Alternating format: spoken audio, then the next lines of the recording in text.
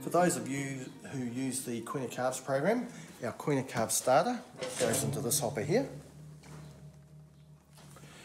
And the Queen of Calves finisher goes into this hopper here, the main hopper of the unit. Um, when the unit's operating, um, milk is taken from the milk vat here, goes through the unit where it's heated, and milk comes out of the spout here. At the same time, the starter gets fed through the auger and into the bowl and mixed perfectly. And same with the finisher, it comes through this auger hole here and gets mixed in with the milk.